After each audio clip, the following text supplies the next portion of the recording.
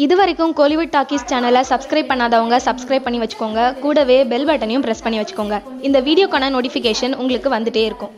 இப்போ இருக்கிற இந்த உலகத்தில் நிறைய பேர் உதவின்ற வார்த்தையவே மறந்துட்டு வாழுறாங்கன்னு தான் சொல்லணும். அந்த காலத்தில் வசதின்றது பெருசாக இல்லைனாலும் உதவுற பண்பு மக்களிடம் அதிகமாக இருந்துச்சு. ஆனால் இப்போ வசதி இருக்குது உதவுற பண்பு தான் இல்லை. நம்ம எவ்வளோ உயரத்துக்கு போனாலும் கடந்து வந்த பாதையை மறக்கக்கூடாதுன்னு பெரியவங்க சொல்லி தான் நம்மளை வளர்ப்பாங்க. ஆனால் அவங்க உயரத்துக்கு போனதும் வறுமையில் இருக்கிற மக்களை நினைக்கிறதே இல்லை.